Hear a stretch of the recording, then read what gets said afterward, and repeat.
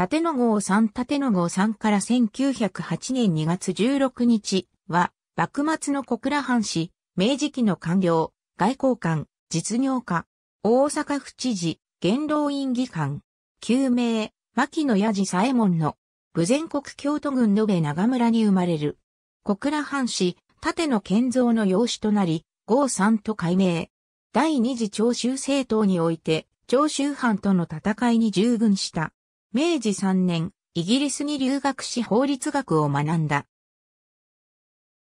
1877年11月、宮内省御用係三等侍補心得となる。以後宮内県大書記官、県大上官県大書記官を歴任。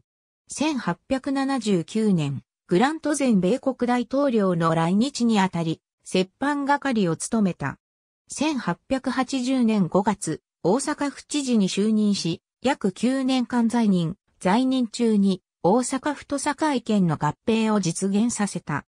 1889年3月16日、元老院議官に就任。1890年10月30日、元老院が廃止され、非職となる。